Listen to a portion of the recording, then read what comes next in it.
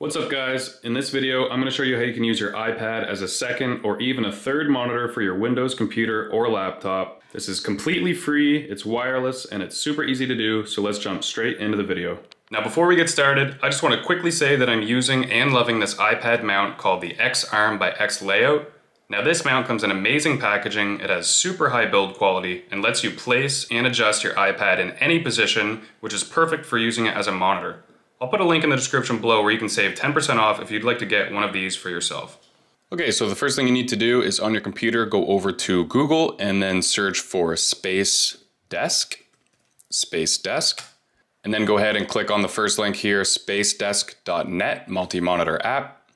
And you're just gonna to want to download and install this app on your computer. So just click on this green download button and select the version of Windows that you have. I have Windows 11 64-bit, so I'm gonna click on this first one and save this file on your computer. I already have it, so I'm gonna click yes.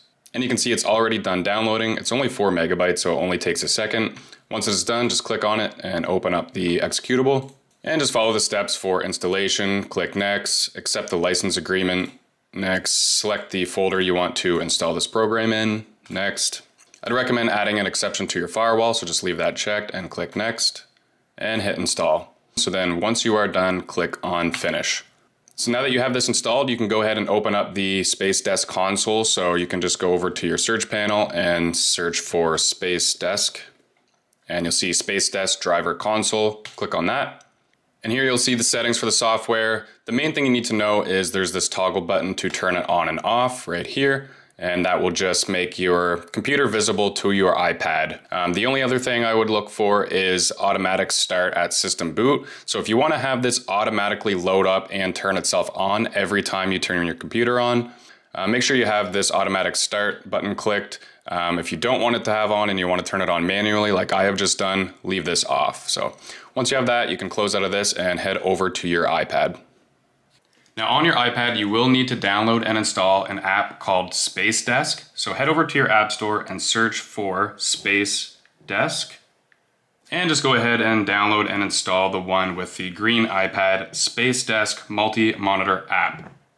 Once you have that installed, just go ahead and open it on up. And if you have everything set up correctly on your Windows computer, you will see your IP address and your connection right here in the app. All you have to do is click on that app and it will open up and use your iPad as a monitor for Windows. Now with this app, you can also use the touchscreen of the iPad as essentially a mouse. So you can click the screen and touch and open apps and do different things just by touching the screen of the iPad, which is a really cool feature as well.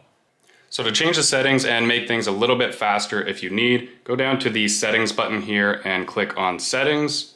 Here you can change your default uh, resolution. A lower resolution will generally mean things will be a lot quicker because it doesn't have as many pixels to load. You can also click on quality slash performance. So this is the main tab that you will use to either reduce the quality and make things a bit faster or increase the quality and have a little bit more lag when you are moving things around and opening things up. So on this tab, you'll see quality slash performance. You can drag this bar into lower or higher quality Obviously with higher quality, it's going to be a little bit slower to respond. I like to keep mine generally around the middle, maybe a little bit lower than the middle setting here. For color depth, you can choose low color quality, which is very fast, or high color quality, which is very slow. I personally like the high resolution and don't mind, at least for what I'm doing, if things are a little bit slow. So I keep mine on high color quality, but if you do need a quicker input, uh, feel free to put this down into medium or even a low color quality.